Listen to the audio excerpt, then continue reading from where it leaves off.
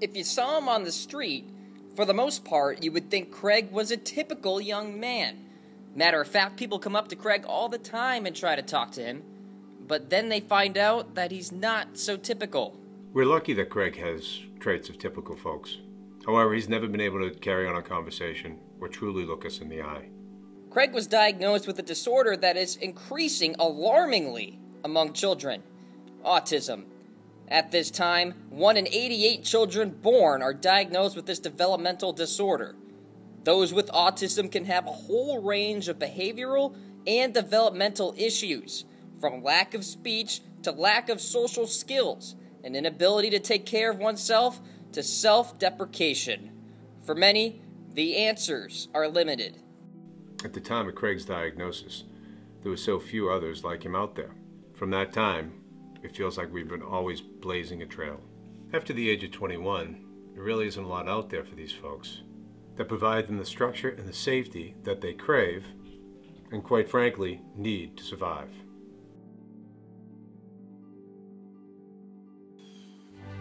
I think that one of the things I learned a long time ago is transition is easier if everybody knows what the person is transitioning to. You have to know what's on the other side of the river.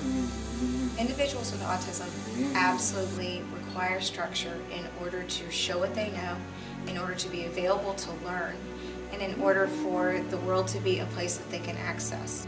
Um, the anticipation that their day won't look like a regular school day um, and not fully understanding what's going to happen next um, can, can provoke a lot of anxiety for the students. In the ideal transition, if I world, we would know what's on the other side of the river.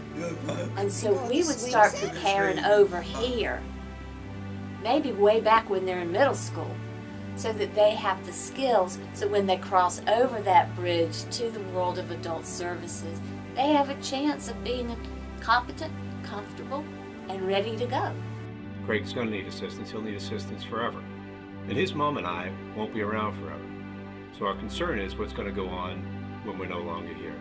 PACE After 21 is a non-for-profit effort focused on providing viable solutions for the catastrophic number of developmentally delayed students transitioning out of the public system and into adult life.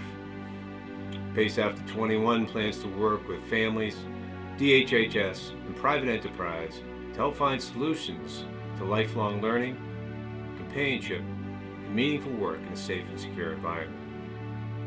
Our guiding principles are simple. Everyone deserves to live, work, and learn in a safe and secure environment.